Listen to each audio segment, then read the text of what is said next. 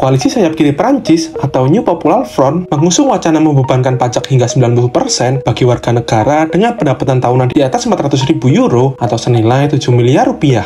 Hmm, menarik. Wacana ini sebenarnya sudah diusulkan sejak tahun 2022, tapi wacana ini kembali muncul setelah koalisi sayap kiri Prancis berhasil mengamankan kursi terbanyak dalam pemilu baru-baru ini. Koalisi sayap kiri ini terdiri dari empat partai, yang kemudian berhasil mengalahkan koalisi Presiden Emmanuel Macron dan koalisi sayap kanan, yaitu National Rally. Meski begitu, koalisi sayap kiri Prancis ini masih butuh sekitar 289 kursi lagi untuk menjadi mayoritas di Majelis Nasional. Merasa bahwa telah mengantongi suara terbanyak, koalisi sayap kiri kemudian langsung mengumumkan rencana kebijakannya yang cukup ambisius, termasuk pajak 90% untuk orang kaya. Selain pajak yang sangat tinggi, koalisi sayap kiri juga berencana untuk menaikkan upah pekerja dan menurunkan pajak untuk orang berpenghasilan rendah. Selain itu, koalisi sayap kiri juga ingin fokus investasi besar-besaran dalam transisi hijau dan layanan publik. Mereka juga akan menurunkan usia pensiun dari 64 tahun ke 60 tahun. Tentunya, wacana dari koalisi sayap kiri ini menemui banyak pro dan kontra. Menteri Keuangan Prancis bahkan mengecam rencana kebijakan ini dan memperingatkan koalisi sayap kiri bahwa bisa saja terjadi krisis keuangan jika kebijakan tersebut diterapkan.